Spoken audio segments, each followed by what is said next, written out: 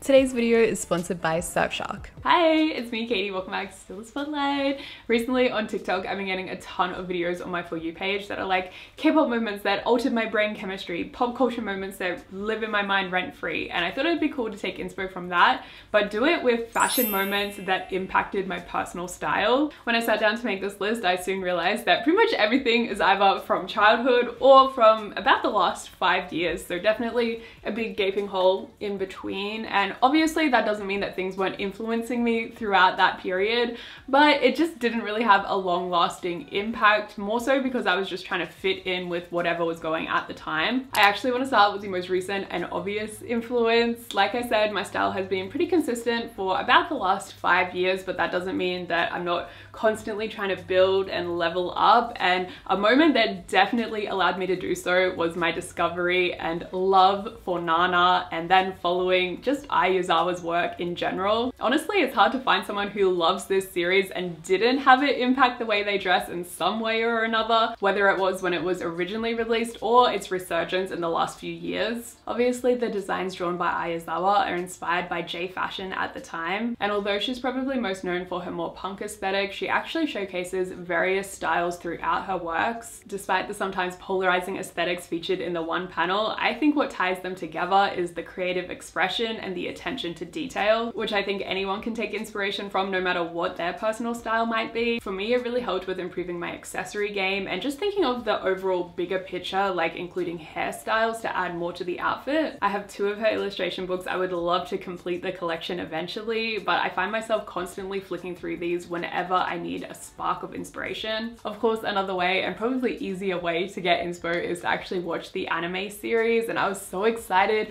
when Netflix announced that they'd be adding it to more libraries and then so disappointed when Australia wasn't one of them. But Fear not because of course today's video sponsor has us covered award-winning VPN Surfshark. With Surfshark, I'm able to quickly and easily change my location settings and then instantly have access to a ton of content that's not usually available in my region. For example, at the moment, I'm switching over to Germany in order to watch Nana. They have it with English subtitles. It's so nice to be able to stream it in top-notch quality and I'm making Sam watch it for the very first time. And Surfshark actually offer unlimited devices under just one account so everyone can find the content that suits them best whilst also ensuring their safety while browsing online. They do this through various methods, including adding an extra layer of protection whilst using public Wi-Fi, or preventing companies and bots from tracking your personal activity, amongst others. You can use my code SPOTLIGHT for 85% off plus three extra months for free until the end of this year. And since Surfshark offer a 30 day money back guarantee, you can try it all risk free via the link on screen and down below in the description box. And once again, just a huge thank you to Surfshark for supporting my channel throughout 2022. We all knew it was coming because they legit had me hooked from the very first ad, the moment they uttered the words passion for fashion, I was there. I was at Big W begging for the new release. Of course, I'm talking about Bratz dolls. They have and will always be my icons. They've influenced my style in many ways, but the first most simple way is just my love for platform shoes. I'd say over the last eight years, it has been truly rare for me to purchase a pair that doesn't have a platform, and I really don't see that changing anytime soon. The other big impact they've had is the concept of theme dressing. I'm definitely one of those people who gets easily overwhelmed when choosing out an outfit, but if you go in with a clear theme in mind, I think that it's easier and also a lot more fun. So you kind of get to think about what mood you're in today and thus how you want to express that through what you're choosing to wear. That might sound kind of whatever to some people, but for me, I really struggle with expressing myself with words. I know that might sound hard to believe because I get on here and babble like a crazy person, but one of the reasons I started this channel as well is because I have such a hard time commuting communicating with people in real life.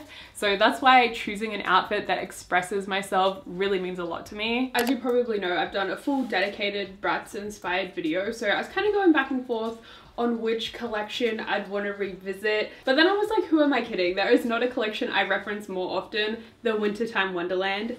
Thus, this outfit was created. All of the girls' looks are super adorable and easy to take inspo from, but since I actually own Jade's version, I thought that's where I'd take my main inspo. I love that baby blue shade, and because of her, I love teaming it with red. I'm not so sure I'm pulling off this style of hat specifically teamed with the turtleneck, but you know what? Us wig jawline girlies have to unite, okay? We can wear what we want. Also, the irony that these boots don't really have a platform is not lost on me, but they still have the chunkiness, okay? So it makes up for it. I guess in a similar sort of vein, I also enjoy dressing up dolls online as well. The hours I must have clocked on Stardoll. Oh my god. I also love the actual doll franchises that got in on the action as well. In my brain as a kid, Bratz absolutely killed Barbie and My Scene when it came to physical dolls, but in the online world, the My Scene girlies were unbeatable. Like their outfits actually always looked really cute. I remember also playing the Polly Pocket ones. They were a little bit more hit and miss. And I have no idea how popular these were, but if anyone remembers Diva Starz, I thought they were so cool, but looking back, low-key terrifying to be honest. I said, oh, jump scare. And when I went to play this game yesterday, I was instantly reminded of my biggest pet peeve, and that was that the shoes didn't match any of the outfits. Like they gave you the cutest top, bottom options, and then the shoes were just trash every single time. Literally, the colors didn't go at all. Perhaps my love for matchy matchy outfits actually came from my pure anger when playing this game as a kid. I don't even know why, but as a kid, I used to watch reruns of The Nanny a lot. TV1 just always had it on,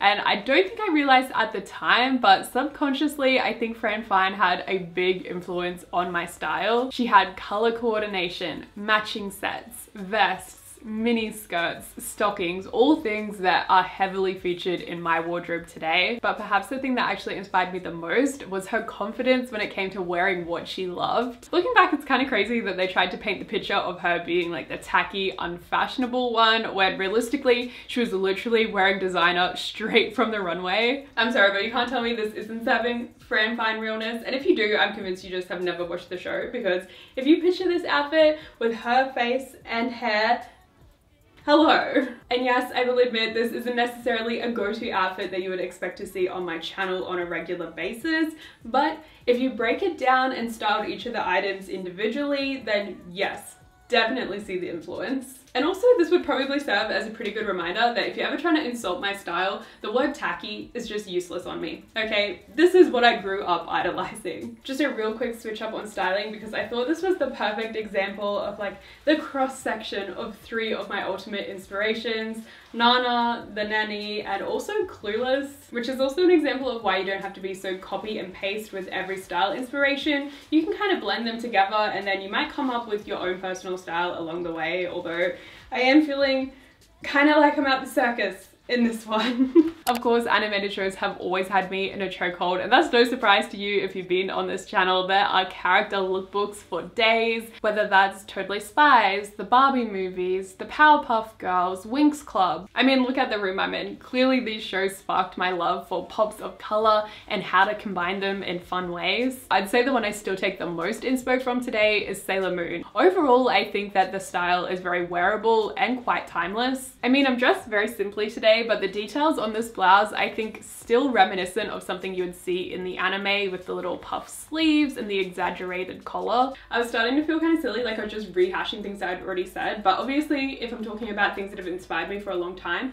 chances are you've heard me talk about them before. So, in case you couldn't already tell, no, I didn't end up doing another Sailor Moon look. I still stand by the lookbook I've already done on that. Instead, I've decided to tackle another show slash comic book along the same magical girl theme, which I have gotten a couple of requests for this, which always makes me really excited because the only reason I haven't done a full dedicated video is because I'm not too sure how many people actually remember it. But if enough people want one, then let me know because honestly, the outfits are even better than what I remembered. So this is just a little something I came up with quickly. Despite being, I believe, an Italian comic, the outfits are giving very 2000s J fashion. To me, at least, everything still feels really casual and wearable. It's more so just those little playful elements they bring into it. For example, the skirt over pants. Honestly, this is so cute. I am just mad I can't wear it out at the moment. Even in air conditioning, it would just be dumb for me to rock up like this. So it will have to be archived and brought back out come autumn time. I feel like over the last few years, the fashion community on YouTube has just exploded and in large part, I would say that is thanks to Ashley Best Dressed influence. But before that, it was very much the land of the beauty guru. There was only a few people really focusing solely on fashion and Clothes Encounters was definitely one of them. And 100% guarantee you, without her, I never would have started my channel. You can 100% see her influence over me in my early videos, but she was my original introduction into the world of K fashion. I remember doing my first purchase from Style Nanda because of her. And also kind of Clothes Encounters, but also heavily the fashion citizen is the reason I first started thrifting. Nowadays, there's a lot of runway shows I like to look back on for inspiration from the 90s, early 2000s, and some more recent collections that seemingly just live rent-free on my Pinterest homepage. But I still remember the first year I was trying to get more into runway shows on style.com and specifically there was this Louis Vuitton collection from when Marc Jacobs was still there, I'm pretty sure, and I was just obsessed with it. And honestly, looking back at it now, um, no idea why. This honestly has lived in my brain for the longest time and apparently the memory that I had stored away was not even accurate because this is not what I had up here, okay? but for context, at the time I was like, oh, I want to be a fashion designer when I grow up. And apparently I was also obsessed with Gossip Girl, hence the Jenny Humphrey in me. But also I feel like this collection is very Serena van der Woodsen. Legit, like the only thing my memory had truly locked in were the bunny ear bows, which honestly is still a slay. I've mentioned my introduction to K-fashion, but of course I still have to talk about the world of K-pop and how it opened my eyes to styling. I feel like you can actually see a really big shift on my channel even. The turning point is 2018. I think one of the reasons it resonated with me so much originally is because it does kind of combine a lot of the things I loved as a kid, but just turned up to the max. Like every comeback is its own little fantasy world. I love theme dressing, but also the fact that you can just turn around and completely reinvent yourself the next time around. Red Velvet, I'm looking at you. So that's what drew me in, but what I took away instantly was that I needed to learn how to layer and accessorize. And don't get me wrong, that did take time. Even if you've wrapped your head around how to accessorize, in actuality, building up the accessory options in your wardrobe isn't gonna happen overnight. But taking that time to collect accessories that you really love and align with your style, I think is so worth it in the end. And it almost helps create like a signature to your outfits because for me at least, I find that they become my most worn items. The options truly are endless. I mean, for this year alone, there's so many amazing styles we could take inspo from. But for the purpose of this video, it felt like I needed to go back to when I first got into K-pop and I cannot believe I've never done an inspired outfit for this this, but Triple H Retro Future. Of course, BTS is what first got me into K-pop, but almost immediately after that, it was Hyuna and she was in her Triple H era. The styling for all three members was very elegant, but still quirky and somewhat of an 80s influence. Just very different from anything else I had seen, and still to this day, I don't think anyone's done it to the same extent. So rather than doing a direct recreation, I decided to go with what I would style Hyuna in if in some magical dream fantasy land we got one last stage performance. I took into consideration their use of sheer blouses, micro shorts, a little bit of sparkle, and of course the beret. It seems silly, but I do wish I had a Chanel brooch instead. There's just something about it that completes this sort of aesthetic in my mind. But alas, even secondhand, they cost a small fortune. So I've already spoken about how 2018 was a bit of a turning point. I don't think it was just because I got into K-pop, but it was also the first time that I've gone on a big overseas trip. I got to go to Japan and I just fell in love with the shopping options there. It was so different than what I was used to.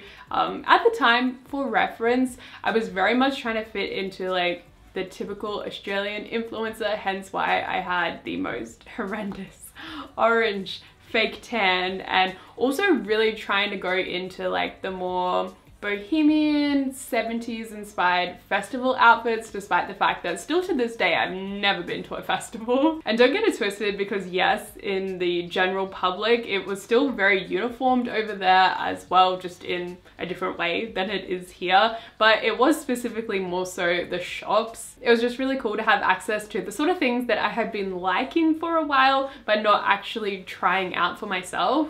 I don't know, I feel like I can't explain it properly. It was more so a feeling that I had that kind of helped me switch my mindset when it came to having the confidence to wear the things that I always wanted to. And the items that I purchased on that holiday and the second time I went there as well are things that I still frequently wear and honestly am never gonna get rid of. Although not my most reworn item, I think these jeans are actually my favorite Japan pickup simply because they are a collaboration piece between two iconic Japanese brands X-Girl and Hysteric Glamour. I don't know, they just feel like the sort of thing you would see on TikTok, someone making a video about, oh my god, this amazing find on Mercari Japan, but no. I was actually there in person when they were released in store. Definitely the sort of thing I will be holding on to and one day be a hand-me-down to kids or nieces, whatever. I'm sure I'm still missing some really obvious ones, but when I first thought of this concept, these are the ones that just instantly popped into my head. I'd love to hear from you guys too though on what fashion moments continue to live rent free in your mind. Don't forget to check out today's video sponsor, Surfshark, of course, all the links down below in the description box. And hopefully I see you all really, really soon. Bye!